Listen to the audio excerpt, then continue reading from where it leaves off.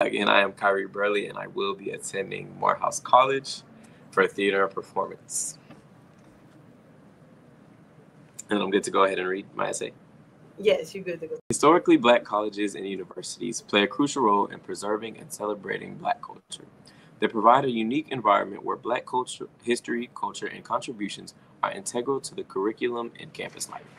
This immersion helps students develop a strong sense of identity and pride in their heritage. These universities are renowned for their inclusive admissions policies, often providing opportunities for students who may not have had the best grades. But it's not just about admission.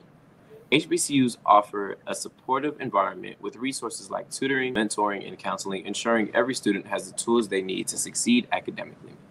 Each university focus focuses on developing its students' strengths. Students receive the attention and support needed to excel in their chosen fields through personalized education, smaller class sizes, and dedicated faculty. For many Black students, HBCUs serve as a home away from home. They offer a community where students feel comfortable and understood, surrounded by peers and mentors with similar experiences and backgrounds. With their profound and significant history, HBCUs stand as a testament to resilience. They were founded during a time when African Americans were largely excluded from mainstream higher education, yet they preserved this history, yet they preserved. This history provides context and a powerful source of inspiration for current students.